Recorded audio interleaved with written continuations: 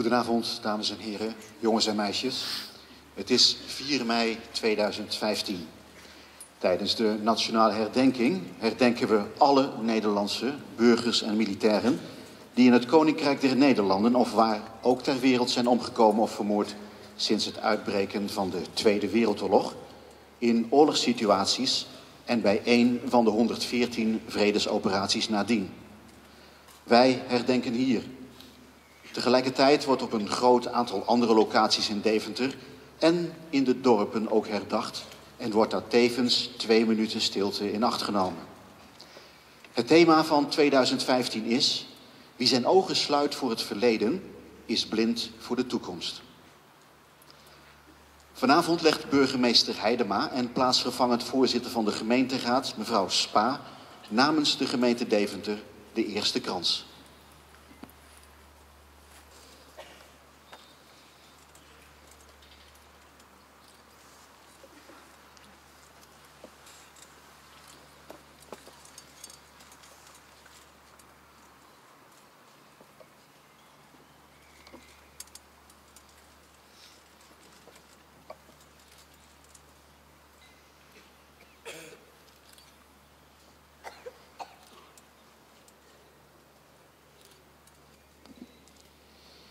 Wij zijn in afwachting tot het teken geef acht.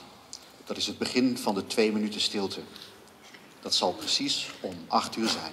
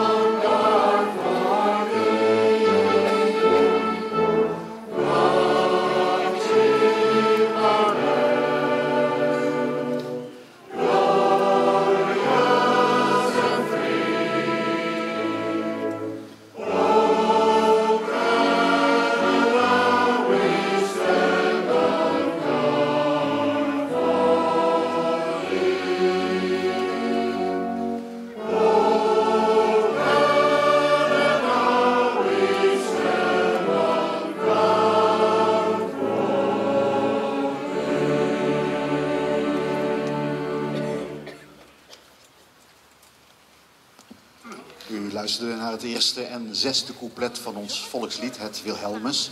En het Canadese volkslied van onze bevrijders, begeleid door Harmonie Eendracht. Thans spreekt tot u de burgemeester van Deventer, de heer Andries Heidema. Dag jongens en meisjes, dag dames en heren. Wat geweldig om u in zo'n grote getale te mogen ontmoeten hier op het Grote Kerkhof bij de herdenking. Dear friends, dear guests from Canada, welcome. Op 4 en 5 mei denken wij in Nederland terug aan een periode van de Tweede Wereldoorlog. En aan oorlog, geweld en onderdrukking in het algemeen. Today we commemorate the victims, soldiers and citizens of World War II, and tomorrow we celebrate our freedom, the freedom our allies fought for. We are happy that our Canadian friends can be present here today with us, and we are still very, very grateful for what you achieved for us, our freedom.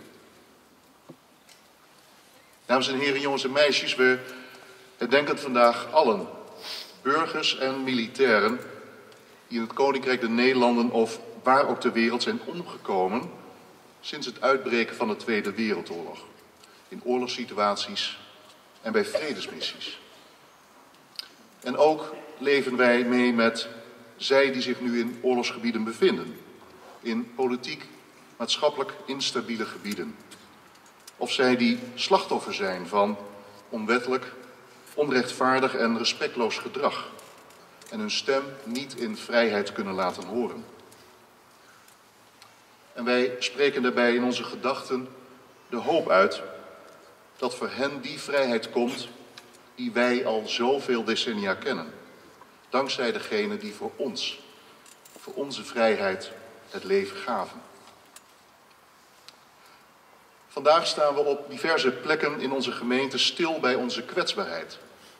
Bij het verlies van dierbaren in een soms zo vrede wereld. Nog steeds sterven er dagelijks mensen door oorlog, geweld en onderdrukking. Het is een niet te verteren gedachte. Mensen die andere mensen om het leven brengen. Vanwege geloof, ideologie, komaf of zelfs seksuele geaardheid. Intolerantie leeft voort in de mens, met vreselijke excessen tot gevolg. Denkt u maar eens aan het noodlot van al die bootvluchtelingen uit Afrika voor de kusten van Europa. Alles wat ze bij zich hebben zijn de kleren die ze dragen en dat kleine beetje hoop op een beter leven. En hoe wrang dat sprankje hoop hier ook lijkt te zijn, zonder hoop is er geen leven. Hoop geeft veerkracht, zorgt voor barmhartigheid en mobiliseert verzet. En daar putten wij kracht uit. En daar staan wij vandaag bij stil. Hier bij dit verzetsmonument en op andere plekken in het land en ook hier in onze gemeente. Vanavond brengen we onze gedachten samen. We delen in verdriet, we delen in dankbaarheid. We gedenken de bezetting in Deventer, in Nederland en Indië tijdens de Tweede Wereldoorlog. Er zijn drie gedenkplekken bijgekomen in onze gemeente. In Okkenbroek en Komschaat-het-Dorp en morgen ook aan de Gibsonstraat. Ze herinneren ons aan de mensen die sneuvelden tijdens de bevrijding van Deventer en ons hier bevrijden. En ze zijn dus ook een eerbetoon aan de bevrijder, de Canadezen, onder leiding van brigade-generaal Gibson. Wie de ogen sluit voor het verleden, is blind voor de toekomst. Dat is dit jaar het thema van het Nationaal Comité 4 en 5 mei. We vieren dat Nederland al 70 jaar bevrijd is van onderdrukking. We hebben geleerd van de geschiedenis, maar de geschiedenis nog niet van ons, zo blijkt keer op keer. We blijven mensen. We zullen onze vrijheid moeten blijven bewaken. Berichten over oorlog, terreur en geweld laten dagelijks sporen op ons na. Via televisie, kranten, maar ook steeds meer via sociale media. We zijn bijna live getuigen van de gruwelijkheden. Gruwelijkheden die ver weg spelen, maar soms ook heel dichtbij komen. U heeft allemaal ervaren welke impact het neerstorten van vlucht MH17 had op onze samenleving. Of de aanslag op de redactie van Charlie Hebdo. Onze krijgsmacht zet zich als NAVO-bondgenoot in om een bijdrage te kunnen leveren aan het tegengaan van terreur en onderdrukking en het bewaken van onze vrijheid. De Nederlandse luchtmacht vecht mee in de strijd tegen IS. Defensie bemant waarnemingsposten op de grens met Israël en Syrië en Nederland is in een verkenningseenheid gestationeerd in Mali. Deze missies zijn zeker niet zonder gevaar. Oeruzgan, Zuid-Afghanistan, daar kwamen tussen 2006 en 2014 24 Nederlandse militairen weer om het leven. Ook bij deze verliezen en de heldendaden die onze militairen in verre gebieden verrichten, staan wij vandaag stil. Een inzet van die strijd is de democratische rechtsstaat. Een plek waar wij, waar jij en ik ons thuis kunnen voelen. Waar we vrij kunnen leven. En waar we praktisch alles kunnen doen en zeggen wat we willen. Een groot goed. Zeker als je bedenkt dat veel mensen hun huis moeten ontvluchten omdat zij niet in vrijheid kunnen leven. Omdat deze levens worden bedreigd. Zij moeten vluchten naar andere delen van de wereld. En dat levert actuele politieke vraagstukken op over de opvang van deze vluchtelingen. In Europa, in Nederland, ook in Deventer. En ik hoop dat barmhartigheid in de debatten een voorname plek heeft. Barmhartigheid, tolerantie, respect. Dat zijn de woorden die wij op 4 mei sterker voelen dan op andere dagen van het jaar. Die woorden zitten verweven in de verhalen die van generatie op generatie aan ons worden doorgegeven. Verhalen bijvoorbeeld over de hongerwinter, de dwangarbeid in Zuidoost-Azië, het verzet tegen Duitse overheersing, de ontberingen in de Japanse interneringskampen, maar ook over de meer recente oorlogen in Irak, Afghanistan de strijd tegen IS. Laten we die verhalen koesteren en verder vertellen. Dat zijn we verplicht aan de mensen die de gruwelen van geweld, onderdrukking en vervolging zelf hebben meegemaakt. Dames en heren, jongens en meisjes, vandaag voelen we onze kwetsbaarheid. Morgen vieren we de vrijheid.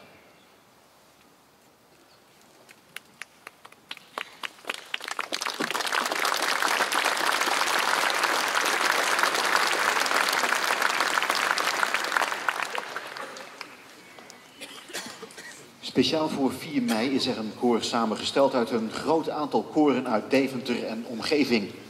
Zij staan onder leiding van Wieberen Buma. Zij zullen zo het lied Free voor ons zingen, speciaal gecomponeerd door Karel Tadema. Aansluitend zingt voor u het Victoria Children's Choir uit Canada. Zij zingen voor u in Flandern Fields en Al Shoshla.